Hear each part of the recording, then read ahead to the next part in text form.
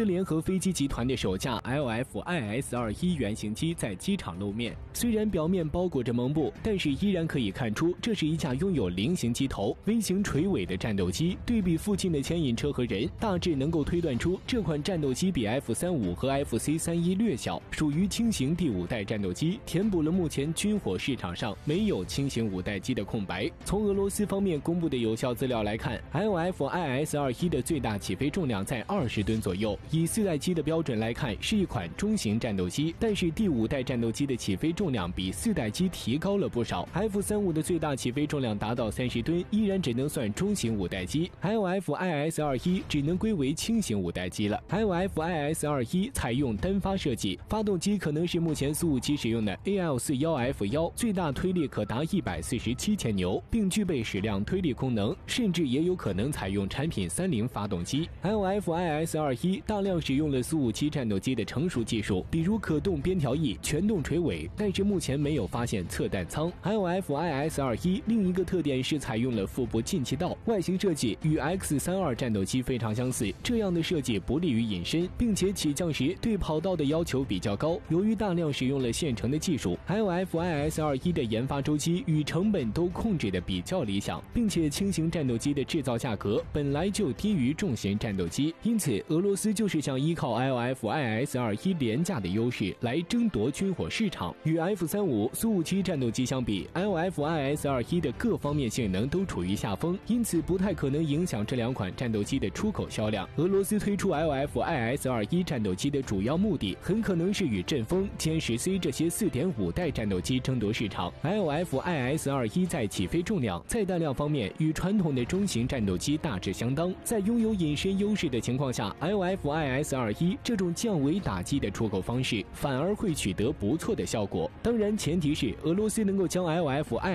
S 二一的成本控制在较低的程度，出口价格应该控制在七千万美元以下，太高了买家更倾向于购买 F 三五或者苏五七战斗机。L F I S 二一一旦进入军火市场，歼十 C 战斗机的出口可能会受到影响，毕竟 L F I S 二一算是一款正八经的第五代隐身战斗机，而歼十 C 再怎么升级。也无法达到第五代战斗机的标准。对于其他小国来说，如果能够花几千万美元买到一款性能不错的第五代战斗机，哪怕是轻型的，效果也要比购买阵风、歼十 C 这些四点五代战斗机好不少。